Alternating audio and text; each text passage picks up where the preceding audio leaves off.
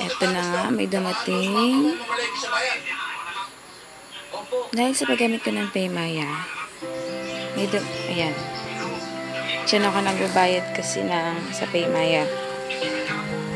Dito ako nagbabayad ng ito ay pagka-cash in. May marireceive ka ganyan pag nag-cash in ka sa 7-Eleven. 1,000, 1,043 yung balance ko nun. Tapos, dahil ito yung dahil nagbayad, nagbabayad ako sa kanya ng whole credit ko ng PLDT. Ayan, 5,000 nagka-cash in ako pambayad ng bills ko. Ngayon, kaya ako natutuwa kasi ngayong gabi may dumating na uh, rebates. Ayan o, awesome. Uh, April 13, 2019, you have received 100 on your PayMaya account from PayMaya.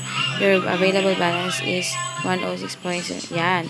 Dalawang 100 po yan. Ito yung isa. Ito yung isa. Yan. April 13 din. So, naging 206.7 na po yung balance ko sa PayMaya dahil may dumating na rebate. So, totoo pala yun. Magka, totoo yun na nagbibigay na rebate si PayMaya. Ayun po. Katanggap ko lang ngayon. Diyan natutuwa ako. Check natin sa PayMaya kung nandun na siya. Yan. Post natin. Kasi open ko yung password.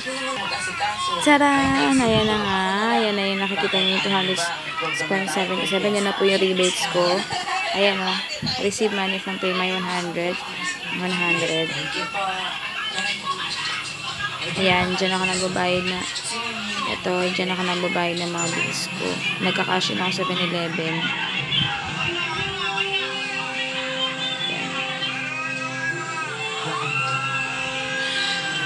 Ano ba yung pinagbayaran ko? Ayan, this payment home credit. Nagbayad ako ng home credit ko.